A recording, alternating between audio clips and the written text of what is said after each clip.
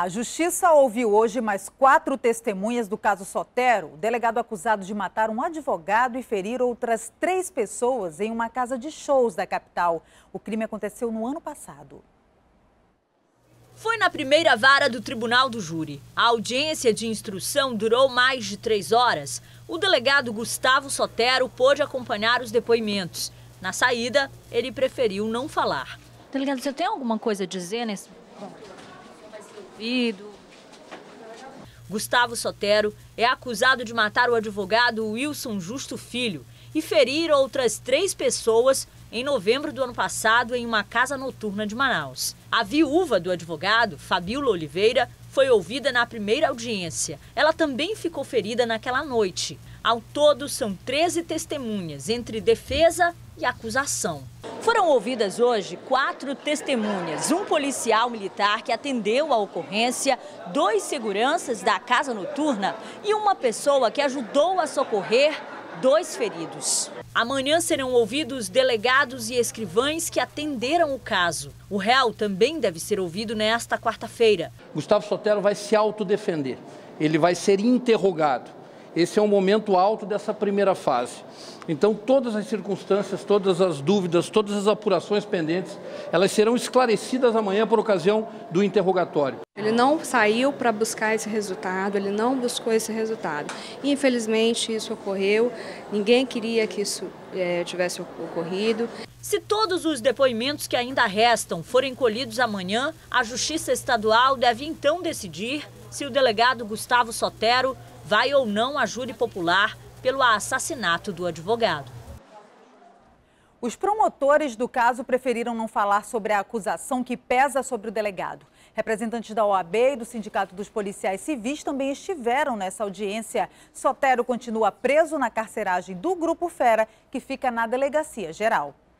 E a Delegacia do Consumidor, também a Agência de Defesa Animal e Florestal, apreenderam mais de 5 toneladas de carne estragada que seriam vendidas em pequenos comércios. Foi hoje à tarde, em Flores, na zona centro-sul da capital.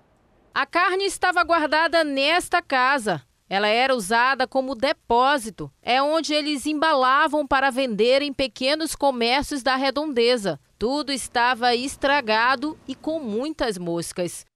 As carnes eram guardadas nessas caixas sem nenhuma higiene, um risco para os consumidores. Segundo informações da polícia, foi através de denúncias do forte odor na rua que a delegacia do consumidor conseguiu chegar até o local. O estabelecimento tinha diversas câmeras para burlar a fiscalização, tudo para dificultar o trabalho da polícia. Cerca de oito funcionários trabalhavam no local. O responsável, identificado como Alain Marcel Ferreira, de 28 anos, foi preso e outras duas pessoas detidas para prestar esclarecimentos. As carnes eram preparadas, embaladas e tinham datas de validades adulteradas. Certamente a carne era comprada com valor menor, era lavada, era amaciada e posteriormente lacrada com nova data de validade, apesar de estar vencida, para revenda para os mercados pequenos dos bairros. O material foi apreendido e descartado no lixão. Já o responsável foi autuado e multado, além de ser indiciado pelo crime contra a relação de consumo. Agora a gente muda de assunto para falar de coisa boa. Um projeto pode ajudar e muito a vida dos ribeirinhos aqui na região. Universitários da UFAM criaram uma prancha sustentável que pode servir de meio de transporte, além de proporcionar lazer. Ela foi fabricada com garrafas plásticas que iriam parar no lixo. E por que não no rio, né? Nos rios e igarapés de Manaus, esta cena ainda é frequente, mas o que contamina as águas também gera ideias para projetos ligados ao esporte e ao bem comum. Na Universidade Federal do Amazonas, garrafas PET se transformam em pranchas.